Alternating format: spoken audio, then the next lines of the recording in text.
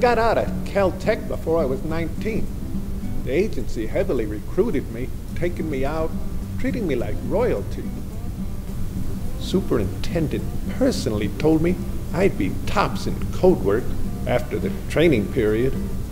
They neglected to tell me that once I was in, I couldn't leave. Nobody leaves.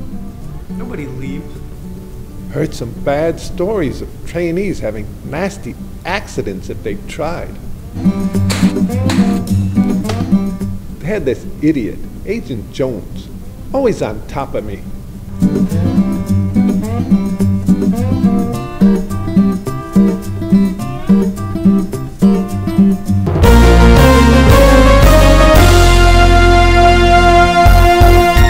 The situation with Smith and Jones was a minor incident.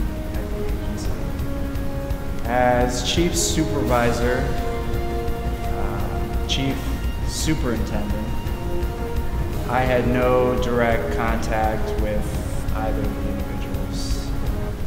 Uh, I do know that the bo- both individuals No, uh, were a problem for both of their supervisors. Agent Jones was mid level, uh, a bit overstressed. His last review hinted that he was a burnout. This was his last uh, official duty at this incident. So they pulled him off active duty and placed him with the trainees. Smith, on the other hand,